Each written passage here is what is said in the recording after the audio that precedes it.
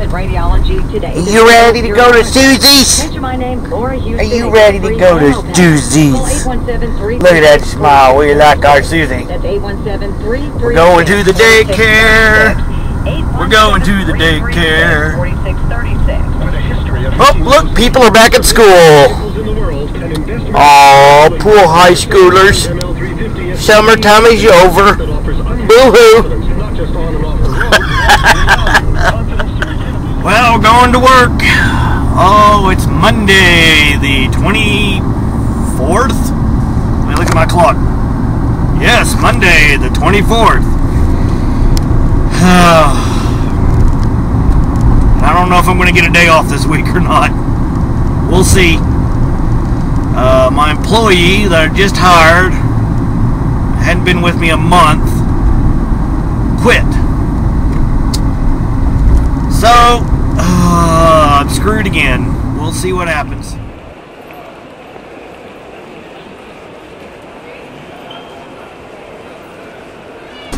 I'm on lunch. Uh, we have a better day today than we did yesterday. We've already made goal today. Of course, the goal was low. We only had to do 100. We, we do. Uh, we have to do 1491 for the week, which is a low goal for a week. Um, but it's August, so they don't expect a whole lot right now. So we do 10% Monday through Thursday, so we only have to do 149 today, and we've already done 170. So I'm hoping this afternoon we can boogie and get maybe one or two more customers and make up uh, for a little bit of the shortfall we've had the last couple of weeks. Um, since we're ahead of the game for this week already.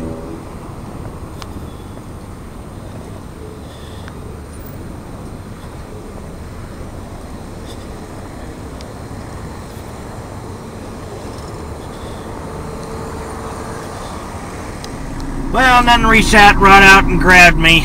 Um, I didn't really see anything I wanted. I saw some programs that were a good price, but they none of them were um, exactly what I was looking for. I was looking for a photo shop program kind of thing where you can edit photos. Um, and they had print programs where you can print stuff, but that's not exactly what I was looking for. So, anywho, um, and I couldn't find any books that I were interested in either. I mean, you know, they were interesting, but just not enough to grab them, you know? Just kind of like, yeah.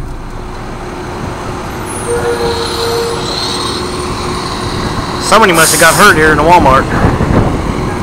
Because we got the fire department and an ambulance here. I don't know what happened. Oh well, I'll go in and take a look.